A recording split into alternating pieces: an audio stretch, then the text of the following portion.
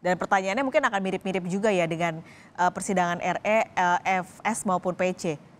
Ya, bukan bukan mirip lagi emang sama kan ngapain kalau tanya mirip-mirip ya karena yang dari 12 ini kan hanya membuktikan adanya perampasan kemerdekaan yang dirampas eh perampasan maaf, perampasan nyawa yang dirampasan atau menghilangkan nyawa tadi adalah J. Nah J ini diketahui oleh ketika di Jambi oleh keluarganya. Misalkan tante yang nerima orang tuanya tahu. Kemudian juga yang dari dinas kesehatan, keluarganya juga oh ada sayatan ada luka. Nah mungkin sejauh itu yang akan diketahui diketahui.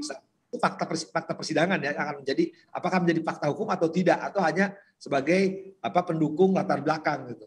Oke, indikatornya nanti ketika ini bisa jadi fakta persidangan ataupun nanti bisa jadi fakta hukum itu apa, uh, Kang Asep? Ini fakta persidangan itu menjadi fakta hukum dari apa? Kan di persidangan semua nanya tuh segala macam ditanyain. Hmm. Yang ada relevansinya, yang ada apa signifikasinya supaya kemarin nanya lagi hubungan orang tuanya itu udah keterlaluan, mohon maaf saya sampaikan ya. Nah, tapi nanti ketika jadi fakta hukum itu larinya ke dakwaan. Nah, dakwaan itu adalah barang siapa yang 38 ya, menghilang merampas nyawa orang lain ya. Nah, kalau kalau yang 340 ya, nah, subsidiarnya ditambah ada perencanaan. Jadi akan lari di situ barang siapa orangnya udah jelas ini terbukti yang membunuh, yang menyuruh ikut serta. Nah, dengan sengaja oh dia mengetahui dan menghendaki. Jadi cerita-cerita sampingan-sampingan kelak tidak akan muncul dalam fakta hukum.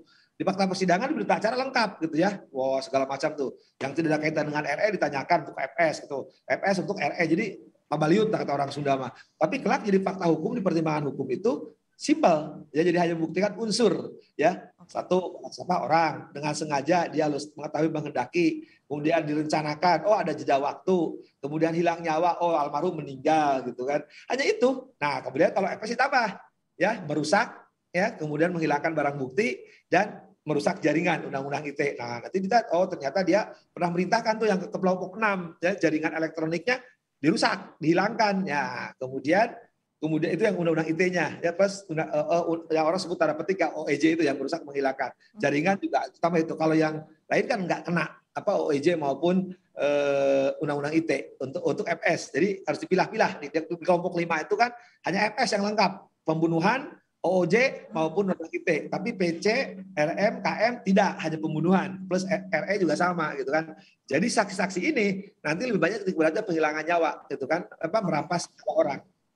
Uh, nantinya tapi yang akan dijadikan pertimbangan majelis hakim memutuskan adalah fakta hukum berarti ya Kang ya, bukan fakta Betul. persidangan.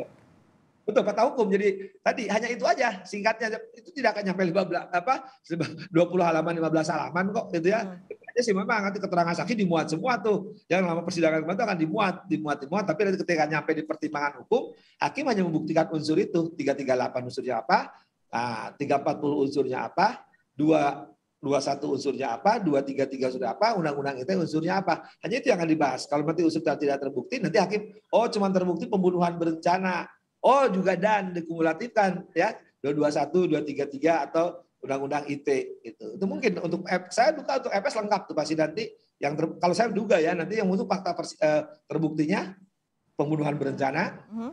kan merusak karena dia memerintahkan kan faktanya di, dan di kelompok enam polisi itu kan ketika ada muncul eh, apa J sedang hidup dalam tanda sedang mengerang kesakitan ya terhadap masih hidup dia perintahkan musnahkan itu. Nah berarti dia menyuruh apa merusak ya karena dalam tanda petik tadi ya OOJ nah kalau merusak berarti merusak jaringan kena otomatis undang-undang ITE juga untuk FS saya duga itu. Tapi kalau untuk sekarang sidang sekarang KM maupun RR nah dia kan hanya di tempat kejadian tempat kejadian ketika berlangsungnya pembunuhan itu. Apa yang dia lakukan? Atau kalau KM akan ditarik hubungannya ketika dia mengatakan Jangan ada duri dalam ini. Laporkan aja Bu PC sama Bapak. Nah, itu juga mungkin akan diperdalam nanti dari saksi yang tahu gitu kan. Nah, tapi kan itu yang tahu nanti karena disatukan kan harusnya KM sebagai terdakwa, RR yang ditanya sebagai saksi. Cuma sekarang dua-duanya statusnya terdakwa. Nanya sebelahan nggak tahu saya bilang dari tadi keberatan saya disatukan karena RR sama KM nanti akan pertukaran posisi ya sebagai terdakwa dan saksi. Kalau sekarang disatukan terdakwa nanti posisinya sebagai RR di saksi harusnya Nah, ketika dihadapkan bahasa hukumnya bukan konfrontir ya, dihadapkan satu lain itu agak membingungkan nanti pemeriksaannya. Hmm, ketika nanti yang satu jadi saksi, yang satu jadi terdakwa gitu. Jadi sekarang dua-duanya terdakwa kan? Iya. Suruh tanya-tanya dikira main sultan. Nah. Tapi kalau melihat uh, pemeriksaan dari kemarin begitu ya ketika FS dan juga PC diperiksa sebagai terdakwa. Uh, dari penasihat hukum uh, Ferdi Sambo dan juga Putri Chandrawati ini kan masih terus me, apa mendorong motif soal kekerasan seksual ini menjadi motif utamanya dan jadi latar belakang kenapa ini akhirnya bisa terjadi.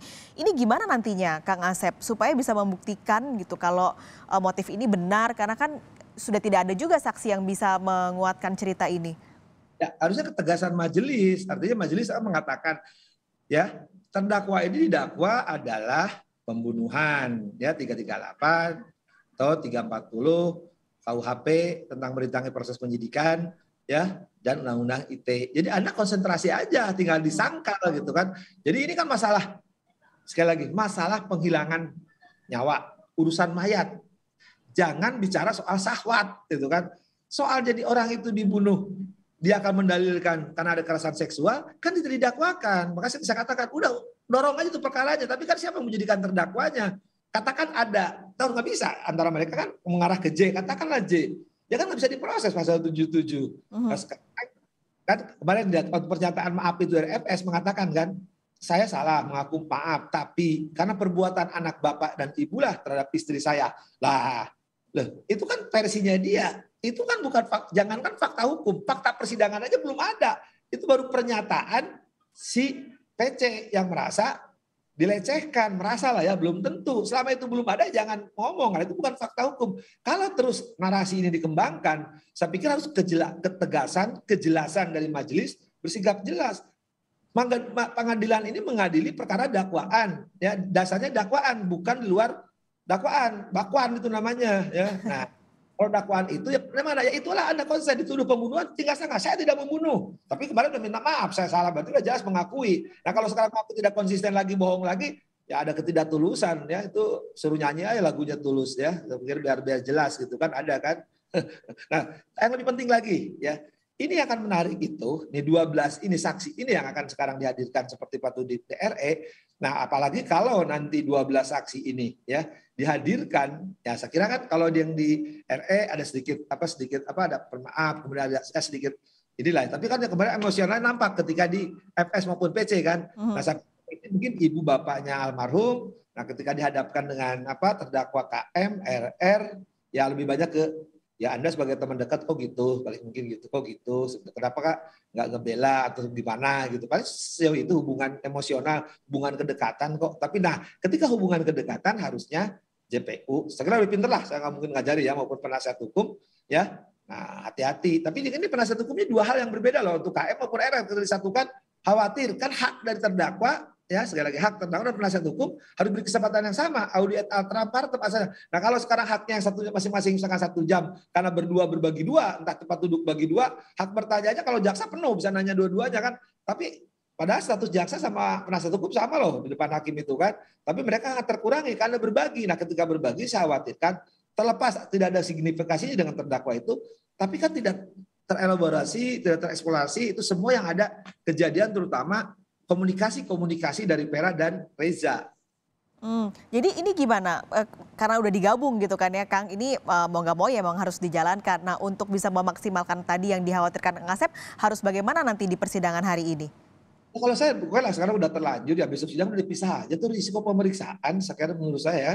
Kalau ini disatukan apalagi saya dengar tadi saya katakan juga ya sebelumnya katanya RM mau disatukan kalau disatukan ya ih, apalagi disatukan berbeda lagi karena tiga pengacara tiga versi. Satu pengacara itu jumlahnya kan hampir rata-rata sepuluh lima orang aja udah. Enggak lima orang nggak usah sebelas lah gitu. Kalau lima lima belas juga itu gimana? Apalagi kalau masing-masing sepuluh tiga puluh tempat duduk. Dan mereka kan masing-masing pengacara ketika bertanya kan timnya masing berbeda gitu kan akan menggali dengan tujuan masing-masing punya taktik statistik. Saya katakan ini sidang ini kan sedang bermain taktik dan strategi. Artinya kalau hukumnya mereka udah tahu lah loh jago-jago loh. Tapi bagaimana kan bagus sekali. Saya harus katakan ya sebagai pengamat kan strateginya RE itu bagus. Dia lebih leading duluan karena malah dia mengatakan pengacaranya Roni itu kan saya minta langsung di TPS, artinya biar cepat gitu. Publik pengen yang cepat. Nah sekarang kan faktanya yang lain ada eksepsi, ada ada pendapat jaksa umum, ada putusan sela, tertinggal kan meriksa yang remeh-temeh itu kan yang tidak jelas. Untuk ada susi jadi hiburan kemarin kan, meriksa susi itu hiburan kan, karena kita jadi senyum-senyum walaupun ada yang emosi juga. Kalau saya ya namanya juga.